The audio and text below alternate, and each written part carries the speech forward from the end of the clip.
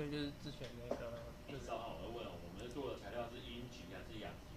阳极，阳极。对，就是找到的都是都是阳极。啊，阳极有用鬼病或是鬼反吗？阳极用 graphene，因为他们之间的隔离，如果用用石墨的话，有办法吗？中间隔离我暂时都还没找到他在讲什么。像我今天要报的那篇，他这篇，他也是也是把同仁模型拿去做那个锂电池的那个样子，就就跟老师看那边说的差不多。啊，只是他也只有说那个，就是他只有说加加了一个真空层在，对，啊，也没说中间到底要插什么材料进去。对，我在猜会不会是它的那个基板，就是金属基板，但但也不一定，因为它那个双层硼，就是它硼那个空气对结构做要做的时候，目前都是在那个金属基板上把它长出来。对，然后不同的那个金属基板，就是像银啊或者锰铜这些，它会有那个结构会不一样，最后长出来的那个结构会不一样。诶，那如果实际运用，可以利用两片嘛？实际应用吗？目前没有相关的实际应用，因为这个材料对，那少汉也要找一下，如果是利用鬼病那这种材料，他们是用什么把它隔开的？graphene 吗？诶，好或是石墨。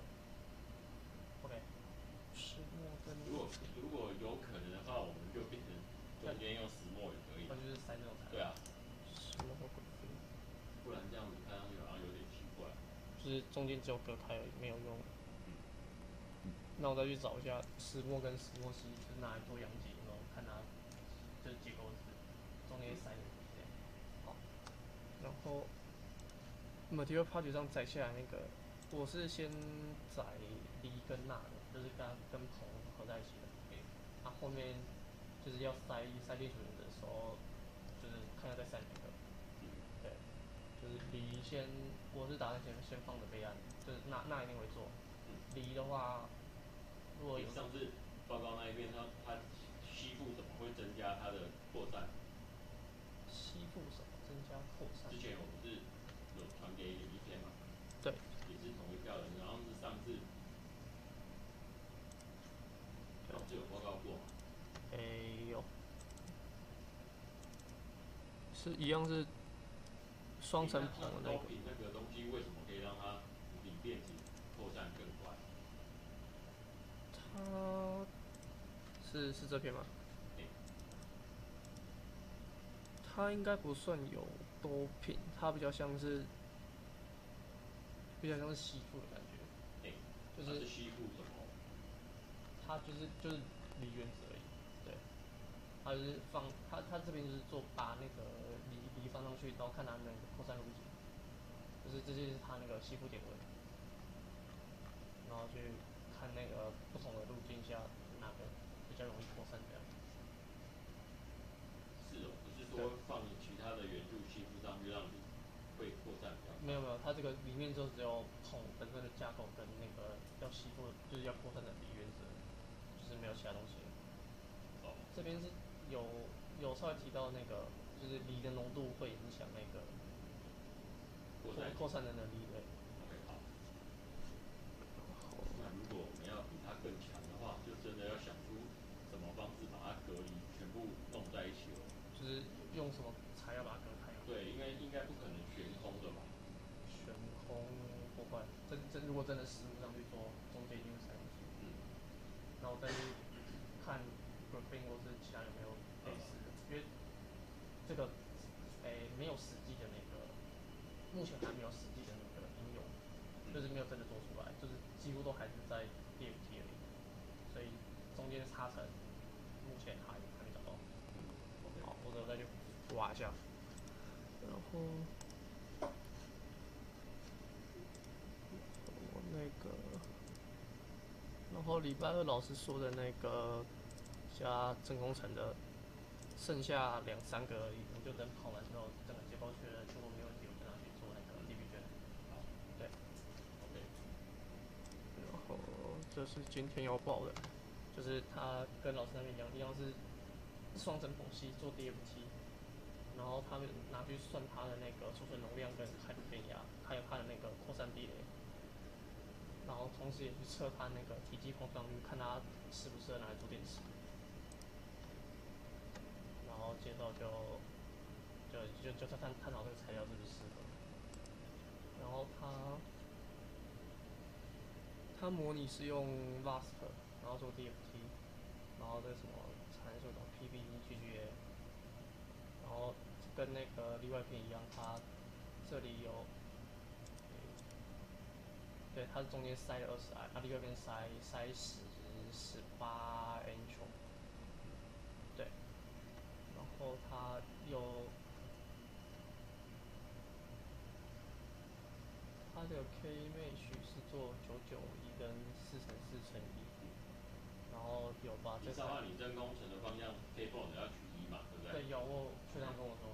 那么 T S 靠出来可能不是一，但是要要把它取一哦。有都都改成一了，然后这个是不是有做二乘二乘？OK，好，来看它结论。好。结果是得什么？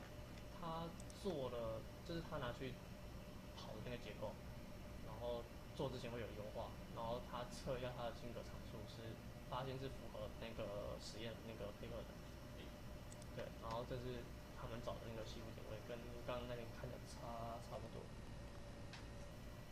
然后他们就是在这个西部点位为基础上去看他们，看他那个扩散路径，他们做了四个，然后是发现是从 T one 到 T two 的时候会那个扩散那个地那个势能。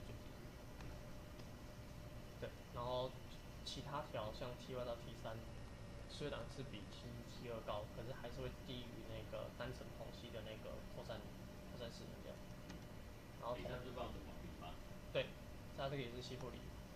然后它一样把这个拿去和那个商用的石墨电极比较，发现那个纸是结晶的。对。哦。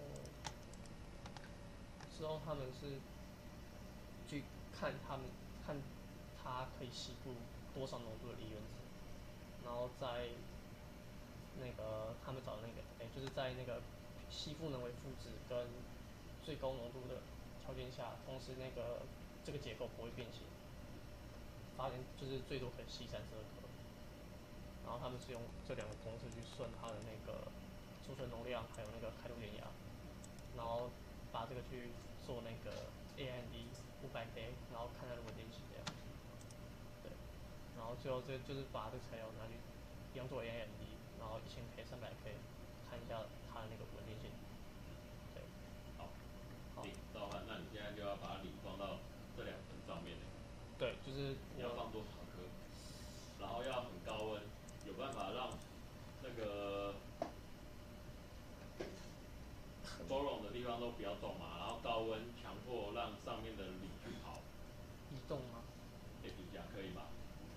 让原子不要动。就是坐标后面变零零零，是不是所以我现在就是结构不要动，然后看可以塞多少粒原子。对，塞进去，然后让你自己去乱跑啊。好，我应该。高应该它高温才会才会跑。应该是。不然你每一个都要去做 NEB，NEB 实在超久。我先照它这个先看它可以吸多少锂原子，就是最高浓度。它这边也是取最高浓度。对。对，哦，我先照它这个。对，取最高浓度，然后再把浓度减少。那那我要所有的结构都做，还是？因为我现在有十十九种，就是自己画的那个双双层。十九种双层哦。对，就是不同不同柱不同之间有柱跟那个六角形。是需要，应该说，哎，十六十十六种十六种三层三种三种是单层的那个形结构，就是有十十六种。选小的几种嘛，其他都用 label 就好了。就是小于字数的嘛。小结构的嘛。对对，小结构的，然后你把，可能要摆几种不同的比例哦。对，我再去刷一下，就是是只许最高啊，就是就是抓最高，但是你你抓不到，就是说它旁边如果没有其他的里，它的吸附能会怎么变化？哦对，所以你就取最高，然后多少？零点五二分之一，然后三分之三一分之一啊，对，那我就先取然后就让高温让它一下，好，那我先找媳妇。分之一，三分之一，就直接 VCMD 让它 run run 长一点时间咯。长一点的时间吧。对啊，比如说 run 一千步啊，好，那我再去看结果。那我就媳妇，那我先塞就塞哪个原子先先不还是不，反正现在还很空嘛，就赶快丢一丢不。要就现在要但是你要你要先 run 到一半要先看动画哦，看上面的铝或是钠有没有在动。嗯，如果温度不够高，它只是在晶格附近震荡的话，又